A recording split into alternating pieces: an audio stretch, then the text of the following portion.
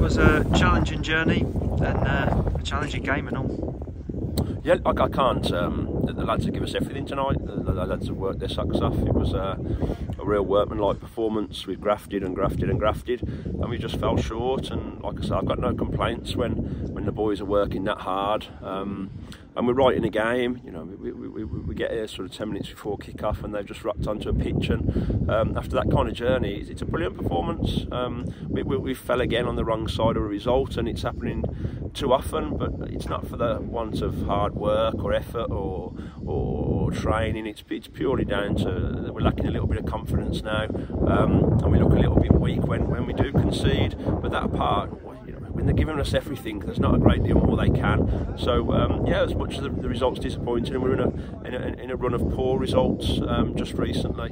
Um, but that said, uh, I can't knock the endeavour of the boys.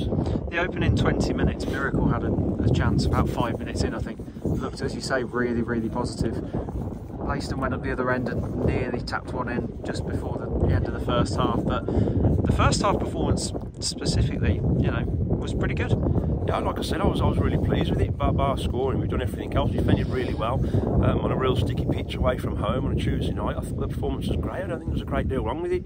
Um, you know, their, their first one's a worldie. The kids in absolute peach again. And, and how many times have we said that the sides of it peaches against us to, to either take a lead or beat us?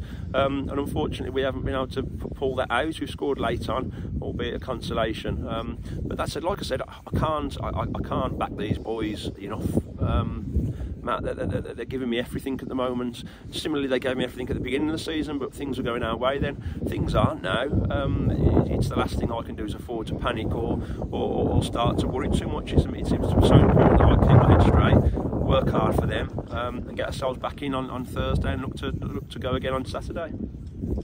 Thanks, Paul.